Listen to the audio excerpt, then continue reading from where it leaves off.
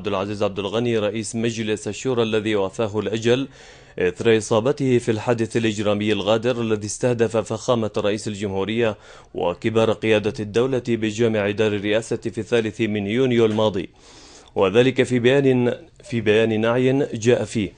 في لحظات مريرة شديدة القسوة وعظيمة الحزن عاصفة الآلام تنعي رئاسة الجمهورية إلى كافة أبناء شعبنا اليمني الوفي والمجاهد والشعب الصابر والمناضل والمثابر شهيد الوطن الكبير الأستاذ عبد العزيز عبد الغني رئيس مجلس الشورى الذي وافته المنية عصر هذا اليوم في مستهل العشر الأواخر من الشهر الفضيل بعد معاناة كبيرة وصبر جليل من الإصابات والجراح العميقة التي أصيب بها في الحادث الإجرامي الغادر والأثيم والذي تعرض له فخامة رئيس الجمهورية وكبار مسؤولي الدولة في مسجد دار الرئاسة في غرة شهر رجب الحرام وتلك الجريمة النكراء التي استهدفت جوهر الدولة اليمنية وقيادتها والوحدة الوطنية وسيادة البلاد. وما زالت تفضي بآثارها الأليمة والمدمرة كما حدث في هذا اليوم الحزين والذي سيبقى من أعمق أيام الحزن في الجمهورية اليمنية. وفي حياة كل اليمنيين الذين يعرفون الراحل العظيم أصدق المعرفة. وتلك الجريمة النكراء التي استهدفت جوهر الدولة اليمنية وقيادتها والوحدة الوطنية وسيادة البلاد وما زالت تفضي بآثارها الأليمة والمدمرة كما حدث في هذا اليوم الحزين والذي سيبقى من أعمق أيام الحزن في الجمهورية اليمنية وفي حياة كل اليمنيين الذين يعرفون الراحل العظيم أصدق المعرفة وأجلها صورة وأعمقها أثرا.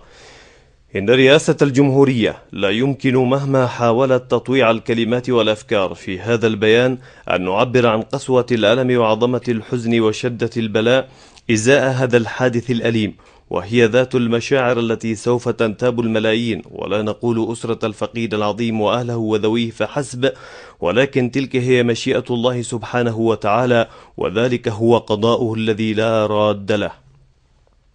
فالخسارة جسيمة والفقدان كبير وعصيب على كل المستويات ولكل ما كان يمثله شهيد الوطن الكبير الأستاذ الجليل عبد العزيز عبد الغني رئيس مجلس الشورى شهيد الحرية والديمقراطية ووطن الثاني والعشرين من مايو وكشخصية وطنية وعربية وعالمية فذة لن تعوض وقد تولى العديد من المناصب القيادية العليا كنائب لرئيس الجمهورية ورئيس للحكومة في العديد من الفترات التاريخية المهم المهمة في حياة شعبنا قبل الوحدة وبعدها. فكان رجل التنمية الأول في قيادة السلطة التنفيذية والمفكر الاقتصادي الفاهم والمعطاء ورجل الإدارة الناجحة ورجل الدولة الصادق الوفي الملتزم. وكان سندا وعضدا قويا لفخامة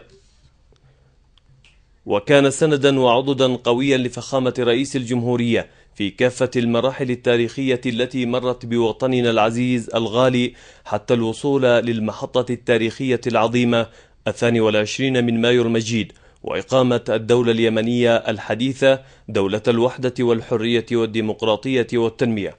وحتى آخر لحظات حياته الغنية بالبذل والعطاء. ونكران الذات وبرز في ذلك كواحد من الوحدويين الأوائل ومن السياسيين والاقتصاديين الذين عركتهم ساحات النضال الوطني الحر الصادق والمسؤول الرافض للأفكار الدخيلة والمسلمات المستوردة والتصدي للأفكار الشمولية. كما كان من مؤسسي المؤتمر الشعبي العام وتصاعد في قيادته إلى موقع الأمين العام للمؤتمر الشعبي العام لعدة دورات تنظيمية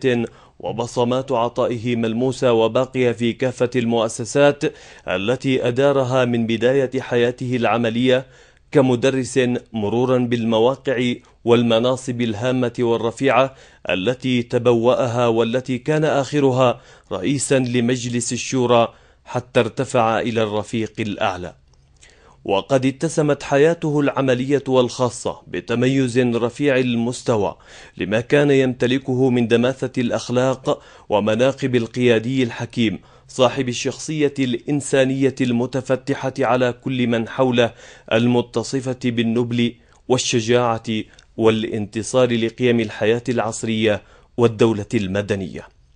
وتعلن رئاسة الجمهورية الحداد في الجمهورية اليمنية لمدة ثلاثة أيام وتنكيس الأعلام في كافة مؤسسات ومرافق الدولة المركزية والمحلية والبعثات الدبلوماسية اليمنية وقراءة القرآن الكريم في الإذاعات والمحطات التلفزيونية الرسمية ومساجد الجمهورية. وإقامة جنازة رسمية وشعبية لتشييع جثمان المغفور له شهيد الوطن إلى مثواه الأخير في مقبرة الشهداء بعد الصلاة على جثمانه الطاهر في جامع الصالح عقب صلاة ظهر يوم الأربعاء الرابع عشر الرابع والعشرين من أغسطس 2011 بإذن الله وتوفيقه. تغمد الله الفقيد بواسع رحمته وغفرانه وأسكنه فسيح جناته وألهم أهله وذويه الصبر والسلوان. إنا لله وإنا إليه راجعون.